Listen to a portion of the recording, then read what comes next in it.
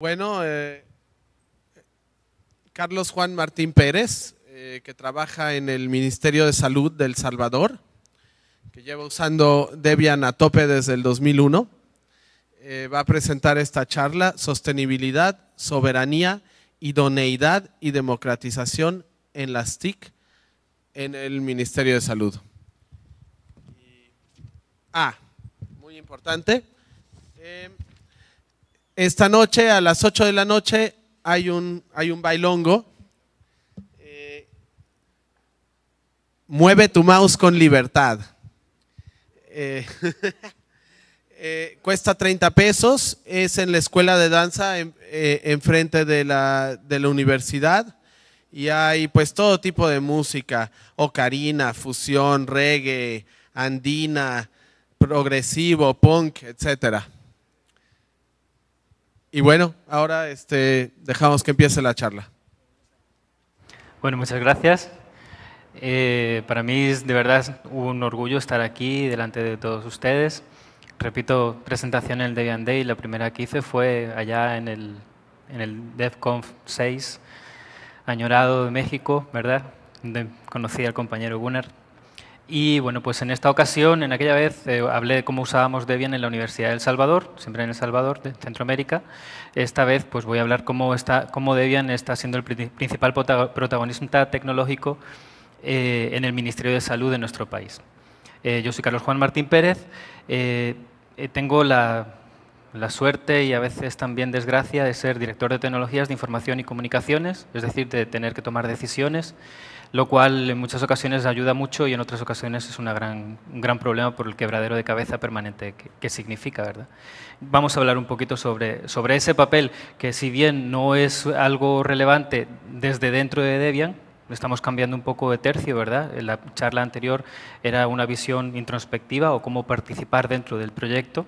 En este caso, pues mi aportación muy humilde es más bien a, utilizarlo, a explotarlo al máximo posible y hacer advocacy hasta más no poder para que se aproveche y, bueno, pues se beneficie a toda la población de un país que eventualmente puede ser atendida en nuestros establecimientos sanitarios. Muy bien. Eh, el Salvador es un país eh, pequeño, no demasiado conocido en algunos casos. Como estamos retransmitiendo esta, exposición pues, a todo el mundo, me voy a permitir contextualizar un poquito qué es El Salvador. El Salvador es un país de 6.2 millones de habitantes, eh, muy pequeño, es el más pequeño de América Latina, de 21.000 kilómetros. Eso significa que prácticamente hay 300 habitantes por kilómetro cuadrado, o sea que nos queremos mucho, para bien o para mal, porque, porque sí, es bastante densamente poblado. ¿De acuerdo? Es un país que tiene un Producto Interno Bruto pequeño, eh, sin embargo la complejidad es la de cualquier otro país por mucha extensión que tenga. El Ministerio de Salud eh, funge una labor tanto de, rector de la salud pública a nivel del país como de atención de la salud de, las personas.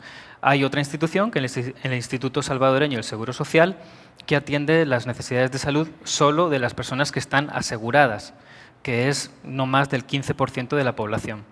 El resto de la población, pues que normalmente son de escasos recursos, son atendidos en nuestros establecimientos de salud.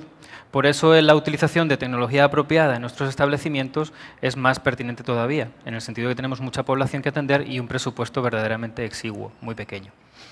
Tenemos 30 hospitales, eh, de diferentes complejidades, cinco grandes, ¿verdad? dos regionales, tres especializados, 624 establecimientos de primer nivel de atención, unidades de salud, clínicas comunitarias, hay diferentes denominaciones en otros países para que nos entendamos.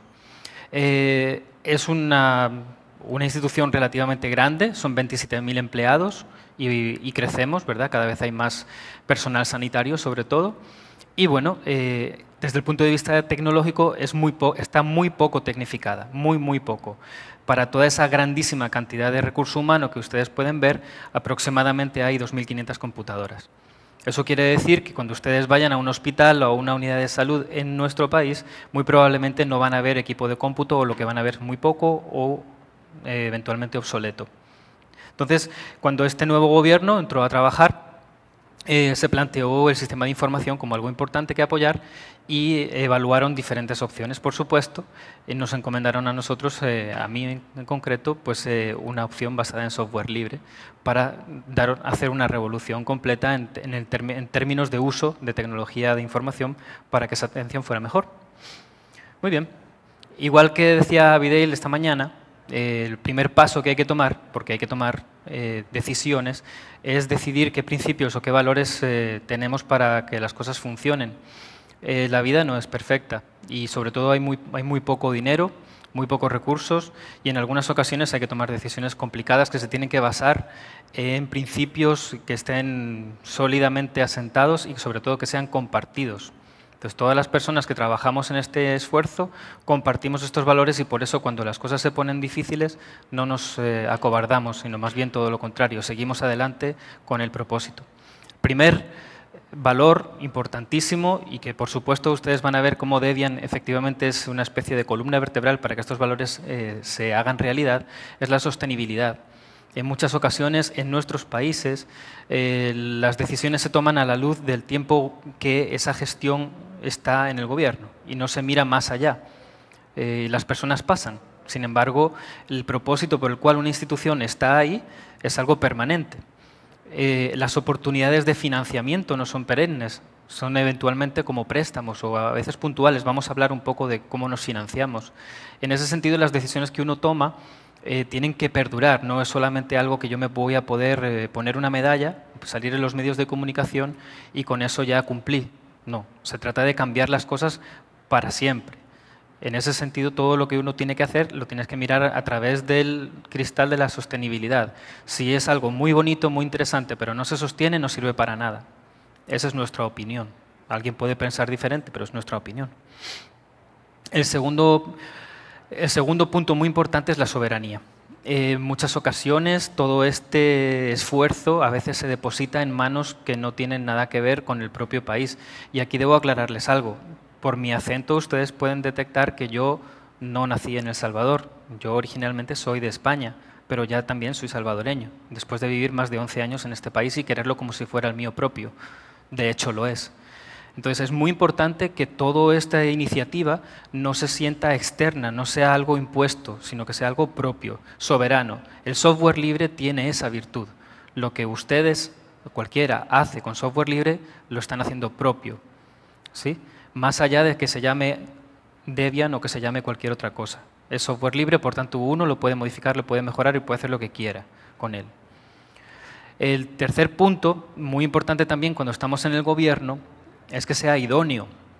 Eh, no podemos hacer cosas eh, de la última moda eh, en general, porque a veces uno aunque le entran muchas ganas, todos somos geeks y nos encanta comprar la última cosa y tener el, el aparato mejor y más bonito, pero eso puede tener un precio verdaderamente inadecuado.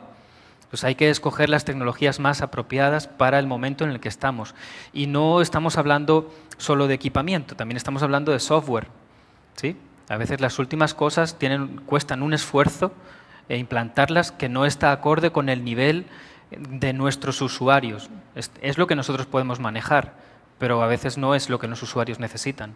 Por eso toda esa inversión tiene que ser idónea. Eh, la estrategia em, que Debian tiene desde el punto de vista de su estabilidad, de su robustez, para nosotros es fundamental porque podemos ir avanzando con la tecnología de manera idónea, sin dar saltos verdaderamente descalabrados, con muy poco recurso humano para poderlo resolver. Nosotros nos basamos en, Debian estable.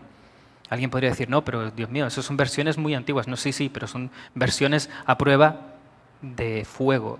Eso es absolutamente confiable. Y para un, un equipo de personas limitado como el que tenemos, definitivamente es la mejor opción. Esa es mi opinión. Por último, eh, hay que hablar de democratización. Eh, ustedes han visto en la cifra anterior que puse de recurso humano que tenemos 27.000 empleados y solo 2.500 computadoras. Eso quiere decir que hay muchísimos empleados, obviamente no todos tendrían por qué tener una computadora, pero hay muchos que la necesitan para trabajar y no la tienen. Eso quiere decir que el poco dinero que tengamos debemos pensar en cómo hacer que llegue a la gran mayoría. Y eso significa hacer una buena inversión de ese poco dinero. En ese sentido, el uso de software libre y una consecuencia colateral, que es su gratuidad, en una grandísima parte, a nosotros nos, beneficia mucho porque podemos maximizar el uso de ese dinero. Y vamos a poner un ejemplo un poquito más adelante. Eh, voy a hablarles un poco de la plataforma en general de nuestros sistemas de información. Eh, bueno, hay un par de abreviaturas que tengo que explicar. Esta abreviatura de aquí, HCE, es hoja clínica electrónica, es decir, el expediente. Cuando ustedes van a cualquier establecimiento a que les atiendan, si hay una computadora o algo así que tiene el doctor para que les, les diagnostique, normalmente va a estar construyendo parte de su expediente clínico electrónico. Y eso se tiene que guardar en algún lugar. Nosotros hemos elegido una opción un poquito más complicada técnicamente, pero es irremediable, en el sentido de que cada establecimiento va a tener, la mayor, la mayor parte ya los tienen, por lo menos en el nivel hospitalario, un servidor con los expedientes clínicos de ese hospital. Y va a haber un lugar central donde están todos los expedientes clínicos de todo el país, para que esa misma persona, si se va a otro lugar a que la atiendan, pueda consultar sus datos. Eso actualmente no es así. Actualmente, en la mayor parte del primer nivel, o sea, los establecimientos pequeños, no hay nada de informática, absolutamente nada, ni expediente clínico ni nada. Y en los que los hay, en los hospitales, está solamente allí. Si ustedes se van a otro lugar, les van a abrir un nuevo expediente. Por tanto, le van a poner más problemas a un médico que les quiera evaluar porque no va a saber qué es lo que ustedes tuvieron en el pasado y eventualmente podrían tomar decisiones incorrectas. Entonces, nuestro propósito es tener ese, esa estructura de expediente clínico electrónico distribuido, pero en cada establecimiento. ¿Por qué? ¿Por qué tiene que estar en cada establecimiento y no puede estar centralizado, que sería lo más fácil? Pues porque nuestro país es muy vulnerable. O sea, además de ser un país pequeño, superpoblado y con poco dinero, es un país muy vulnerable desde el punto de vista natural. Tenemos casi todos los años una emergencia nacional por lluvias, por terremotos, eh, afortunadamente hace mucho que no hay actividades volcánicas, pero también estamos sujetos a ese tipo de eventualidades. Entonces es muy frecuente que nuestros establecimientos queden incomunicados. Entonces no podemos descansar todo el sistema en una base de datos central porque en el momento en que se incomunique, pues eh, se acabó el sistema. Entonces, eh, por eso es que cada establecimiento debe, debe también trabajar de manera autónoma. Muy bien la parte que nos interesa en este, en este aspecto es que es software libre sobre software libre. Eh, todos los sistemas que nosotros desarrollamos son software libre. De hecho, los compartimos. Lo único que todavía nos falta un poquito para publicarlos, que sería muy importante y esperamos el año que viene dar un paso importante en ese sentido compartirlos no solamente entre instituciones. Hay algunos de los sistemas que hacemos nosotros que otras instituciones del país nos los piden y se los damos, con todo y código y fuente y permisos con licencia correspondiente, GPL versión 3 para ser más exactos. Pero no los hemos publicado, vamos a hacer eso. Y luego además están basados en software libre. Vamos a ver después en, qué está basado el, el sistema, cuáles son sus componentes principales y para que vean que realmente así es.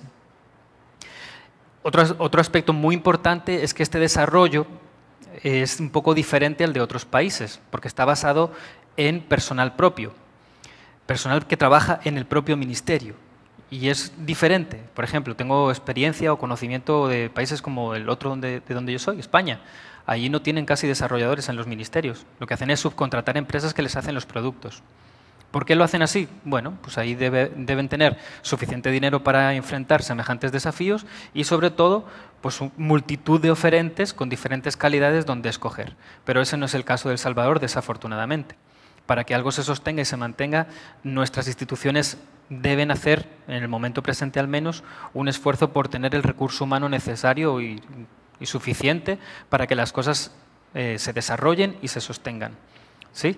Como les digo, es un poquito distinto a otros contextos. En este sentido, eh, para nosotros es un gran esfuerzo lograrlo, porque eh, siendo un país con determinadas necesidades y sobre todo nuestra institución que tiene una responsabilidad de atención de salud, ¿verdad? recordemos que estamos hablando del Ministerio de Salud, nuestro propósito principal es dar atención de la salud de las personas, no desarrollar software, no tener grandes infraestructuras tecnológicas. Entonces, todo el dinero, la mayor parte del dinero que le dan al Ministerio de Salud, obviamente tiene que ser dedicada al recurso humano sanitario, a la compra de medicamentos, porque nosotros damos los medicamentos gratis a la población, eh, la compra de insumos médicos, etc. Entonces queda poco dinero, y así debe ser, para la inversión en tecnología y en el recurso humano que mantiene esa tecnología. En cualquier caso, eh, mi papel es precisamente defender eh, y contener ese gasto y hacerlo de la mejor manera posible. Eh, de hecho, no me puedo quedar con ustedes toda la semana, que eso sería una gran ilusión para mí, porque me voy otra vez al Ministerio a seguir en la batalla, porque es una batalla, para, para garantizar que estos recursos humanos se contratan y se quedan. Es, es, un, es un problema bien serio que estamos enfrentando. Eh, otra cosa que, que, estamos intentando hacer es incorporar estándares, pero lo hacemos con mucha calma, por eso pongo lo de controlada. Los estándares a veces son una especie de camisa de fuerza. Y en el mundo sanitario, además, hay estándares que son privativos, que si uno los quiere usar tiene que pagar por determinada suscripción y entonces eso ya no nos gusta, definitivamente.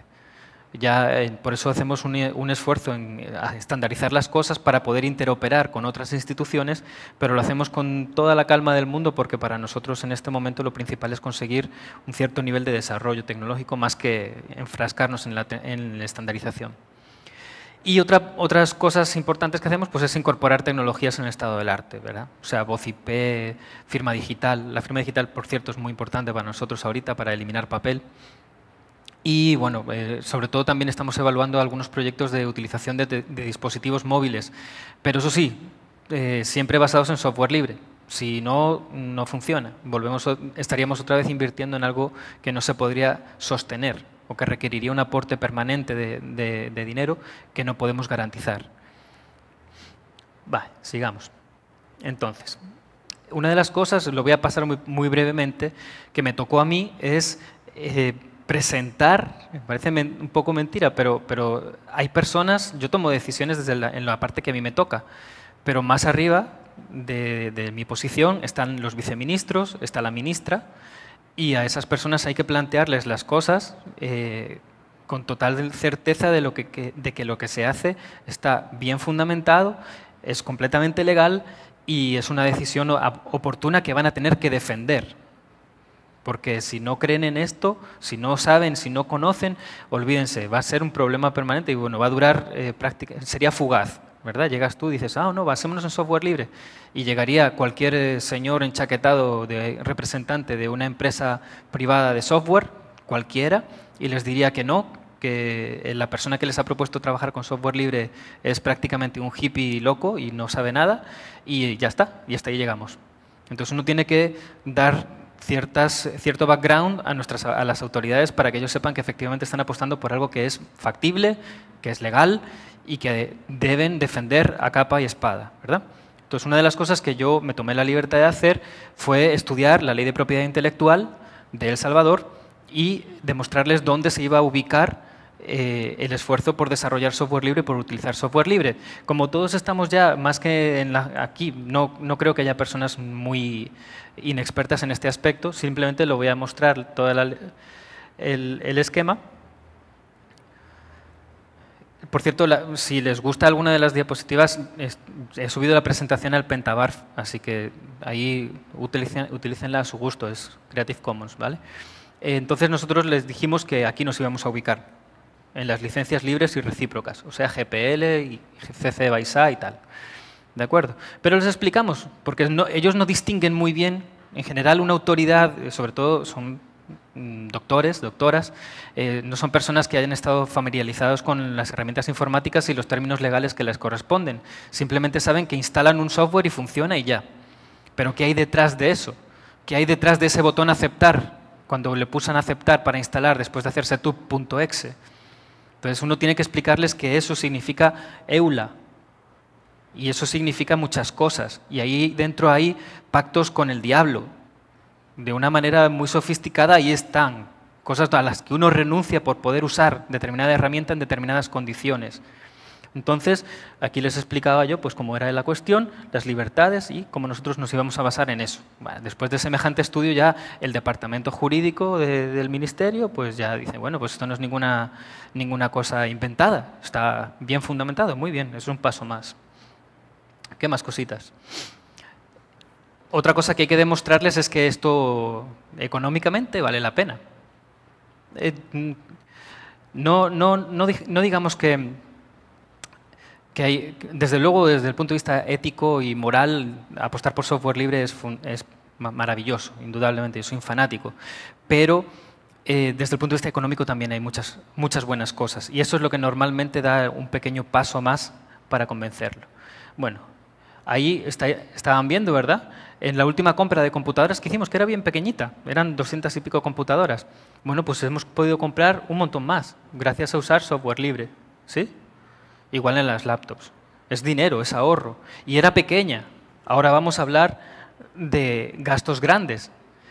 Tenemos un presupuesto escaso, pero como estas autoridades han decidido apostar por la tecnología, por lo menos eh, de forma idónea, apropiada, han decidido también que parte de los apoyos eventuales, puntuales que están teniendo desde el punto de vista financiero, se inviertan también en tecnología. Entonces estamos hablando de millones de dólares, ya no estamos hablando de 20 mil dólares, 50 mil, estamos hablando de millones. Entonces hay que tomar decisiones que mueven siete cifras. Y ahí hay que evaluar qué es lo que yo necesito. Y hay que evaluarlo en función del costo total de propiedad, que es una terminología bastante conocida. Entonces hicimos un experimento. ¿Cuántas computadoras necesita el ministerio? ¿Cuántas? Así. Entonces hicimos toda una evaluación y esto es, esto es el número de computadoras que necesita el ministerio. 9.226 computadoras. Así, un atarrayazo grande, como decimos allá. Si yo las compro con software privativo, o sea, Microsoft Windows y Microsoft Office, ¿cuánto me tengo que gastar? 355 dólares más 50 del antivirus, porque obviamente tenemos que comprar un antivirus que es recurrente anual. O sea que tengo que gastarme 3.275.000 dólares en licenciamiento por las computadoras que necesito. Y todos los años me van a pasar una factura de 461.000 dólares para mantener el antivirus. Así es. Eso solo son los clientes, las máquinas que necesitamos para acceder a nuestros sistemas, que son web, pero necesitas una máquina con un navegador, generalmente. Podemos pensar en Thin Clients y otra serie de infraestructuras, pero así en, básico sí era. Bueno, pues eso es solo cliente. Ahora pensemos en el sistema a nivel de servidor, ¿verdad? Vaya, la opción barata. ¿La opción barata cuál es? Ya sabemos cómo se llama, Microsoft. Si yo comprara todos los servidores que necesito comprar, ¿verdad? Y les pongo una licencia de Windows y de SQL Server para ese sistema de expediente clínico electrónico distribuido que yo les contaba antes, necesitaríamos invertir 5 millones de dólares. 5 millones de dólares en licencias de Microsoft. Y 21 mil dólares del antivirus típico que tiene que tener un servidor con Windows, siempre, ¿verdad? Bueno, esa es la opción barata. Veamos la opción cara. Y aquí me estoy acordando de Gunnar antes, ¿verdad? que, estaba aquí conversando con una compañera que trabajaba en Oracle, según entendí. Ok, esa es la opción cara, la buena, supuestamente. Por supuesto que no vamos a ir por este camino. Obviamente, miren, ¿cuánto nos costarían las licencias de Oracle calculaditas, bien calculadas? ¿eh? Porque es todo un, tiene una su fórmula en función del tipo de procesador que uno usa, el número de núcleos y toda la cuestión. 30 millones de dólares de licencias y 6.668.000 dólares recurrentes, porque todos los años hay que pagarles un contrato de mantenimiento, todos. Si usted no le paga un año, no pasa nada. Al año que, que, viene, cuando usted quiere actualizar o volver a obtener algún tipo de soporte, tiene que pagar retroactivamente, o sea que es anual. ¿Sí? Bueno, tenemos un chiste nosotros en, eh, en el mundo hispánico, y es que Oracle, si uno lo lee al revés, ¿verdad? Es el caro.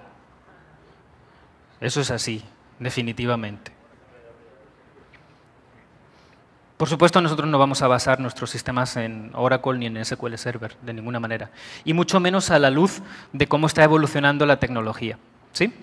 Hay que reconocer que desde el punto de vista de sistemas operativos para desktop y móviles, esto está en la Wikipedia. Yo uso el historial de esta página, es bastante interesante, aunque han tenido un, pleito últimamente en si la mediana o toda la cuestión de cómo calcularlo, ¿verdad? pero pueden ver cómo los sistemas operativos basados en Microsoft han ido bajando.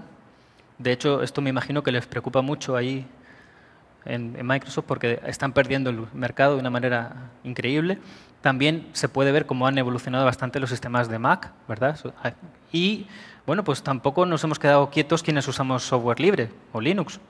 Aquí esta verdecita, pues hemos pasado eh, prácticamente en el último cuarter, en el último trimestre, dos puntos. Claro, Eso uno dice, ¿estás hablando de que se ha duplicado el número de usuarios de Linux en, escritorios? No, no, eso sería lo que me gustaría a mí decir, pero la realidad es que eso se debe a los sistemas operativos que están en los celulares, como decían también en la mañana.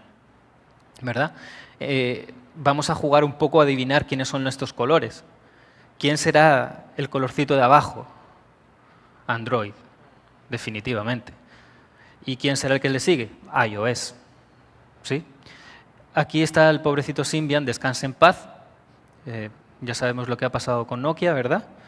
Eh, RIM, Blackberries también están bajando bastante.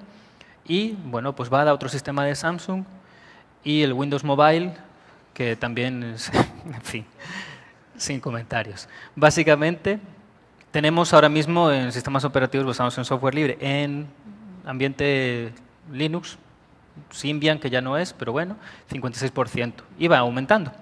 Entonces, cuando uno ve estas evoluciones, también tiene más certezas a la hora de apostar por software libre. No obstante, hay que reconocer que tenemos muchísimos escritorios y muchísimas eh, necesidades de interoperar con, escritorios y con, sistemas basados en software privativo, concretamente en Microsoft Windows. Muy bien. ¿Y cómo vamos a resolver esa brecha? ¿Cuánto dinero tenemos para eso?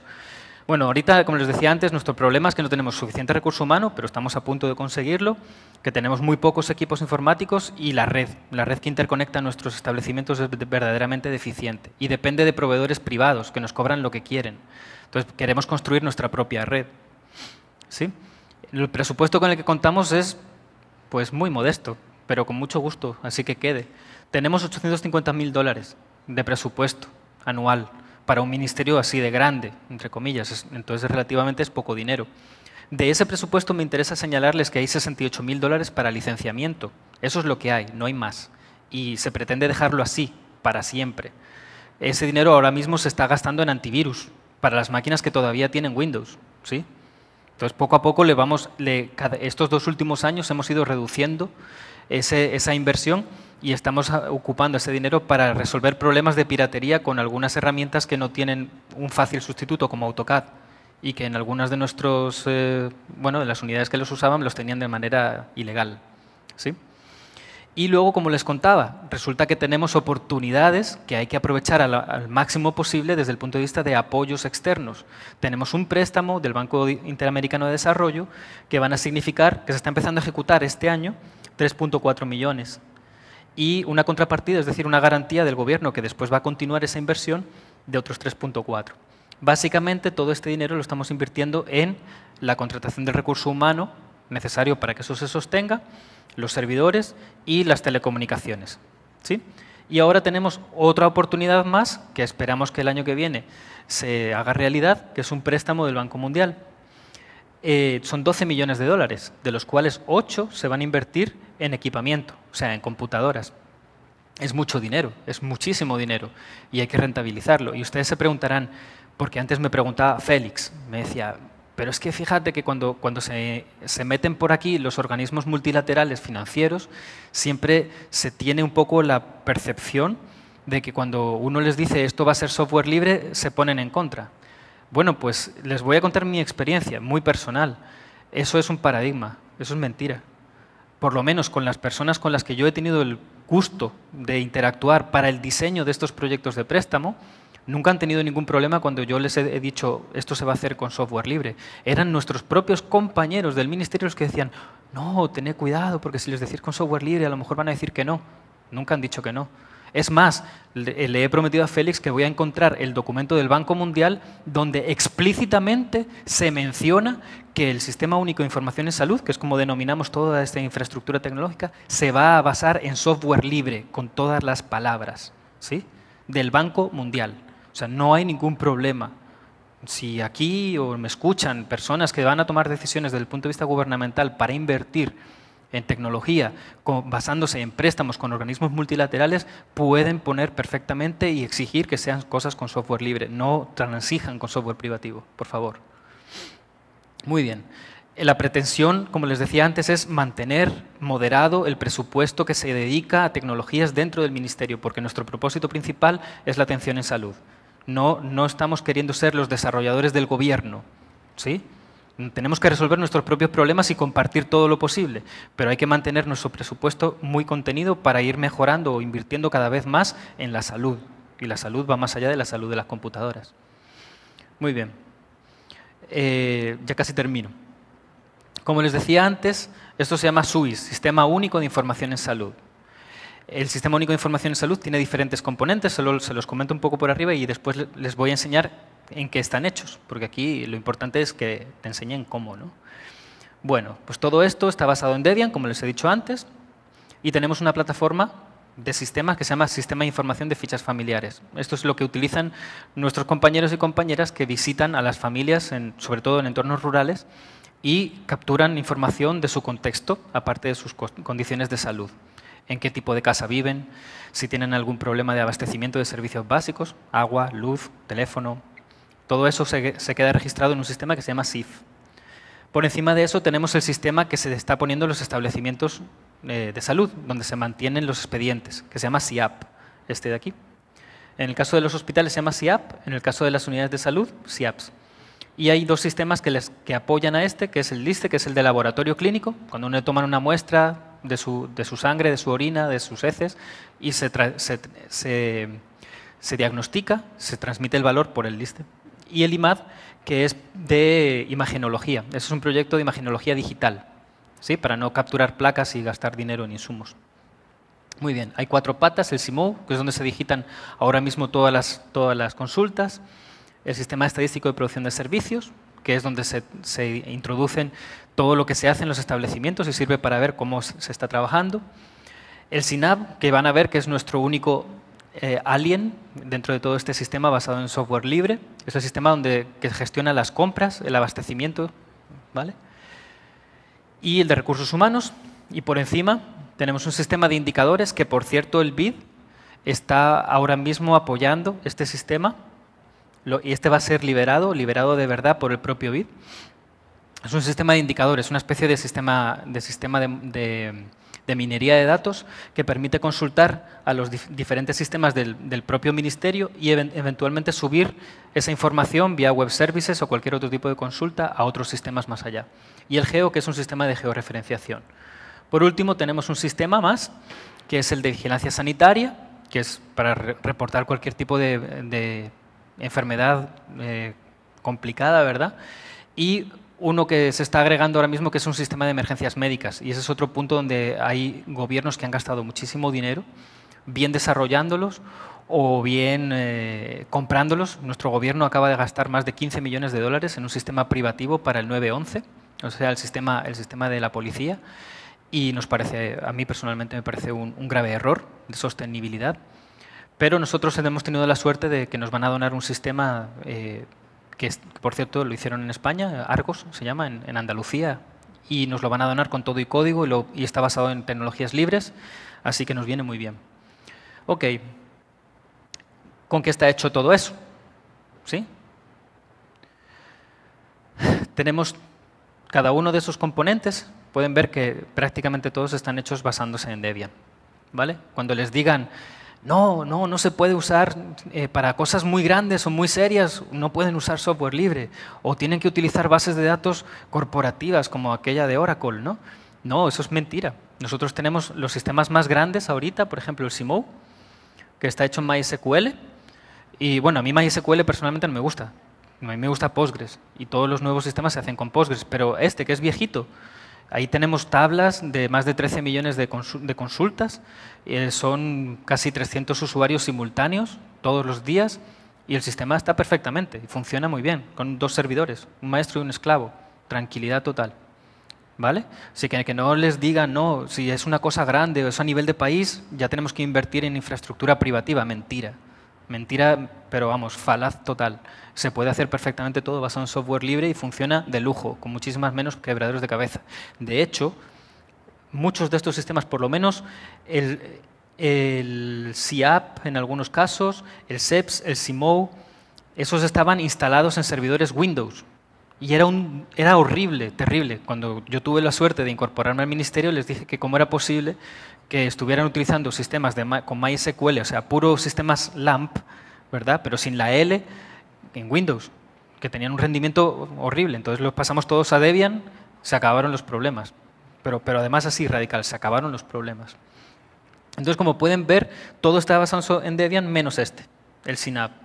Y nos duele mucho, entre comillas, pues es un sistema muy importante y hay que darle todavía bastante vida. Eso es otra cosa también eh, importante que, que, hay que tomar. Eh, no siempre las cosas son migrables de un momento a otro. Las cosas tienen que hacerse en su momento. Y cuando uno tiene, ha hecho un esfuerzo muy, muy grande en implantar un sistema, sobre todo un sistema relativamente amigable porque está, basado, está orientado al web, entonces no debes tampoco eh, eh, obcecarte en liberar, liberar, todo y que todo esté basado en software libre, porque a veces es un esfuerzo extraordinario que no tienes capaz, capacidad de sostener.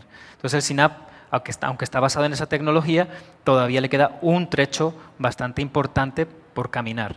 En su momento, dentro de unos años, quizás no lo pueda ver yo, pues dirán, bueno, la nueva versión del SYNAP que queramos desarrollar lo vamos a basar ya en software libre para que sea congruente con el resto.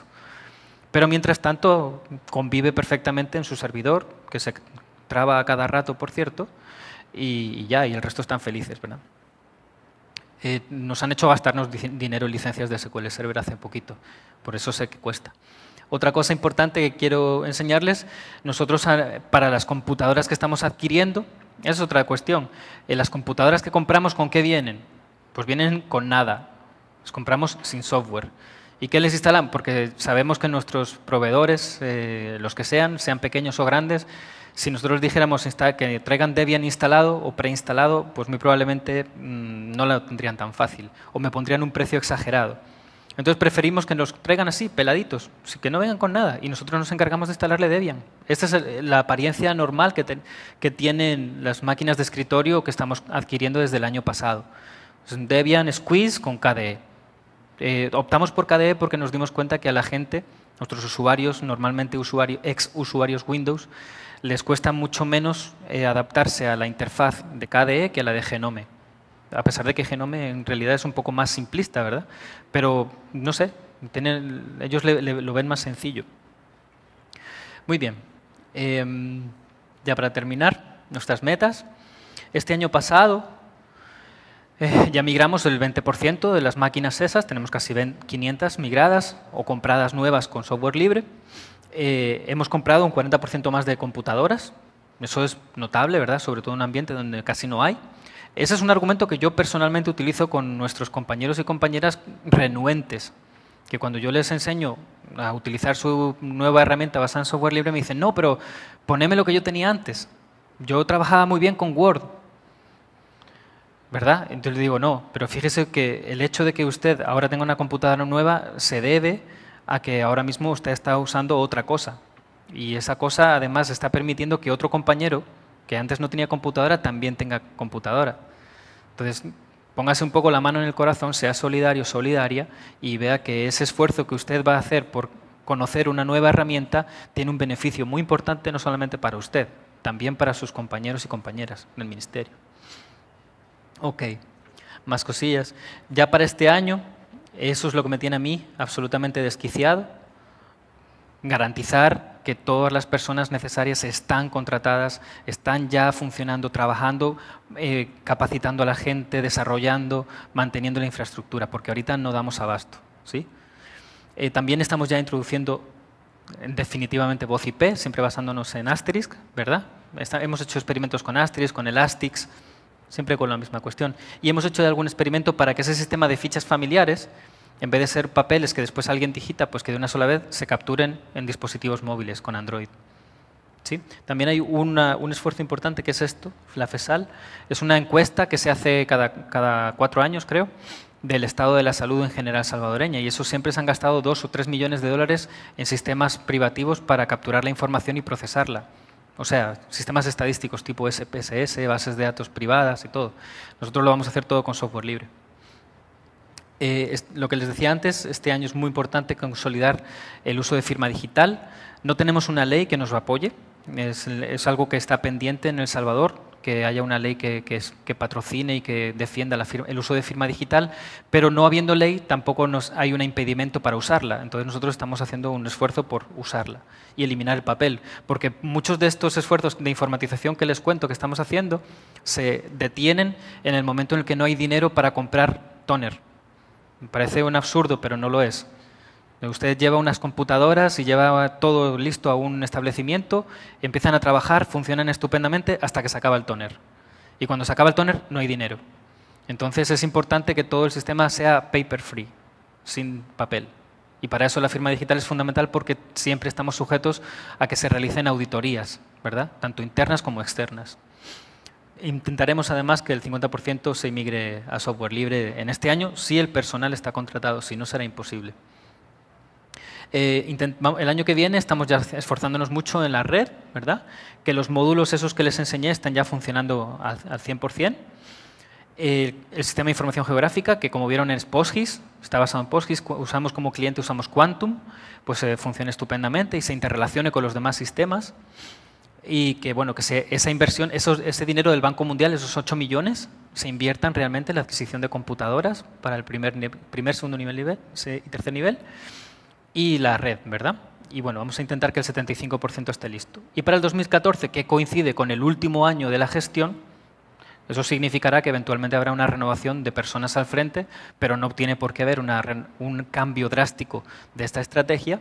Bueno, pues que toda la red esté lista, que los módulos estén en marcha, que continúe la inversión. Ya eso, ustedes saben que cuando empezamos a meter computadoras en establecimientos, ya eso nunca se para, ¿verdad? Siempre es renovar, más, más, más. Y bueno, pues habrá un 99% de, de, equipo existente de software libre con Debian. Eso esperamos. Obviamente siempre habrá, podrá haber dificultades, pero desde luego la adquisición de todo esos, de esa millonada de, computadoras va a ir totalmente con software libre. Bueno, por mi parte, eso sería todo. Yo no, eh, ahora hay un pequeño espacio para, para, preguntas, respuestas. Yo estoy a vuestra disposición para, para contestar cualquier cosa. Entonces, compañero monje. Sí, eh, se ha hablado de bueno, todo el esfuerzo enorme que están haciendo, ¿verdad? Y me da un poco de curiosidad conocer eh, la cantidad de, miembros del equipo de trabajo que está llevando a cabo todo este esfuerzo que es simplemente titánico, creo. Bueno, tan titánico no es porque somos hombres y mujeres, así que no, no es para tanto, pero somos ahora mismo 20 personas. Eh, que estemos involucrados, enfrascados en esa transformación directamente, hay que decir que, somos tres, cuatro. El resto pues sigue manteniendo sus propios sistemas, eh, los que mantenían antes y administrando servicios y todo. Básicamente, bueno, aquí van a quedar Keila y Roger, que son los dos compañeros que más ímpetu le ponen a este asunto y, yo también, que me pongo a dar capacitaciones y todo. Entonces, eh, eso lo digo porque es una tarea que se puede ver muy grande, pero igual que decía Vidal, que, muchas, poquitas personas pueden hacer mucho ruido, eso es cierto, y también para bien. Muy, poquitas personas pueden hacer muchísimo ruido cambiando cosas. Igual también hay algunas pocas personas en el ministerio que también nos hacen ruido en, en contra, ¿verdad? Pero nosotros somos más persistentes, ¿verdad? Por eso. ¿Alguna preguntilla más? Gunnar. Y después el otro compañero. Bueno, eh, a, mí, vamos, eh, bueno, viste que tuve, que tuve que estar rebotando entre lo que tú ibas diciendo y lo que me iban diciendo por los 40 canales, pero en realidad se me hace muy importante mostrar este trabajo que tú estás presentando, no solo como pues una experiencia, digamos, hasta el momento exitosa, esperamos que, que sea exitosa al 100% y, y, vengas a contarnos posteriormente el 100% de éxito. Lo conseguimos. Eh, pero además el mostrar todo lo que hay que documentar, todo lo que hay que ir haciendo, todos los estudios comparativos que hay que hacer. Vamos, muchas veces eh, me dicen, ¿qué hace falta para migrar? Ah, pues bueno, primero analiza, ¿estás seguro que quieres? ¿A qué vas a hacerlo? ¿Cómo lo estás sustentando? ¿Qué eh, estudios estás haciendo al respecto? Y pues bueno, eh, ver un reporte del caso tan, tan desglosado, tan completo, a mí se me hace muy importante para que otros podamos presentar, digamos, trabajos con un nivel de detalle similar. Bueno, pues muchas gracias. Hay un documento eh, que, más allá de la presentación que eventualmente puedo compartir, eh, es pues toda una justificación. No es tan panfletario, pero sí es un documento algo más extenso, de 60-70 páginas, tipo tesis. Mi, maestría la base un poco en eso, en cómo migrar una institución a software libre. Eh, las prudencias y las dificultades que hay que tener al respecto. Entonces la puedo compartir, bueno, de hecho por ahí se puede encontrar. Eh, por si les puede servir eventualmente para justificar esto ante cualquier autoridad, ¿verdad? En el caso de que haya que tomar algún tipo de, decisión. Eh, otro compañero tenía por allá la, mano levantada. última pregunta. Ya, se, para ya se acabó el tiempo, pero dejamos la última. Hola, buenas tardes. Eh, yo soy desarrollador de bases de datos y me da mucha curiosidad lo que mencionó sobre la, base de datos en, SQL, en MySQL. Este, no sé si, si podías compartir con nosotros eh, la, arquitectura que implementaste, porque a, mí me, da mucha curiosidad el hecho de que pueda soportar tantas transacciones. Pues fíjense que eh, yo tenía muchas dudas cuando me enfrenté al problema. Eh, bueno, por ese preconcepto que también tengo sobre MySQL, ¿verdad? Y su, su estrategia de desarrollo que definitivamente va hacia ningún lugar. la base, el sistema ya estaba hecho así estaba con MySQL. Y lo tenían en dos máquinas con Windows, probablemente será una de las partes fundamentales del problema. Las migramos a Linux, Debian concretamente, Debian Lenny en aquel momento. Y, bueno, quisimos hacer una prueba en esa migración que era montarlo en cluster. El rendimiento que me dio fue bastante malo, penoso, por no decir otra cosa, hasta el punto en que decidimos tirar para atrás no a pasarnos a, Windows. Obviamente eso, eso, eso no, jamás de los jamás, eso por encima de mi cadáver. Eh, eh, lo que hicimos fue volverlo a montar maestro esclavo, master slave. Entonces tenemos en el esclavo, que es un servidor un poquito más grande, bastante grandecito, ahí tenemos el servidor web, es un Apache con PHP normal y corriente, y tenemos el esclavo de la base de datos y el maestro en otro servidor un poquito más modesto. Y lo que hicimos de una manera bastante rústica, porque no se puede decir de una manera mm, menos diplomática que esa, es separar las aplicaciones que escriben de las que leen. Entonces las aplicaciones masivas de lectura, las que consultan estadísticas y barren toda la base de datos, esas pueden entretener procesadores y memoria de RAM, la que tú quieras. Entonces, esas las hemos concentrado en el esclavo y las aplicaciones de escritura las concentramos en el maestro. Eh, de esa manera hemos logrado una relación bastante estable entre el tiempo de respuesta que necesitan las personas que digitan, que necesitan que la aplicación vaya rápida, rápida, rápida, porque si no se entretienen y en alguna medida ellos les, les evalúan por la cantidad de formularios que digitan dentro del sistema, y la capacidad de análisis que por otro lado el sistema produce, que es muy importante a nivel de vigilancia sanitaria. Entonces, que necesitan también que no se tarde un reporte en salir en 10 minutos, sino por que tarde un minuto o dos minutos y nos funciona muy bien. Hay que reconocer que eso ha sido una solución de oro. Solo cuando hay algún problema de energía y se nos apaga eh, los, UPS, porque nosotros tenemos problemas de alimentación eléctrica igual que en otros lugares, ¿verdad? A veces hay que resincronizar la base de datos y en eso nos tardamos una media hora en todo lo que pasamos la imagen del maestro al esclavo. Pero es relativamente fácil de resolver. Entonces, es una, es una infraestructura en la que yo no volvería a hacer algo, pero porque a mí me gusta más Postgres y sobre todo en las versiones de la 9 en adelante, que ya tiene replicación síncrona y asíncrona, la que tú quieras, y que seguro que funcionan de lujo. Pero si ya tienes una infraestructura basada en MySQL, esta solución es bastante buena. Y listo. Muchísimas gracias.